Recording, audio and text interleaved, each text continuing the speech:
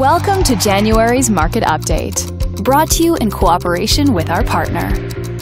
Let's take a look at residential real estate activity in your area during the month of December.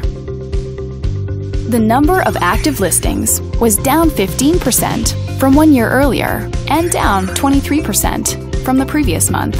This smaller inventory means that buyers who waited to buy may have had a smaller selection to choose from.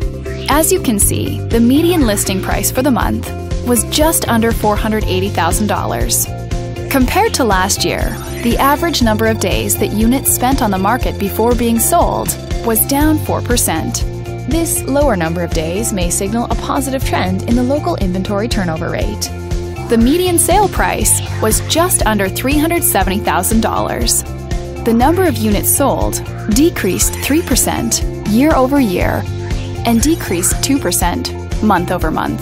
Fewer sales could indicate an opportunity for buyers to negotiate better terms. Thanks for watching. We hope you use this information to make smart, informed decisions in your upcoming real estate transactions. Feel free to contact us for more information or further assistance.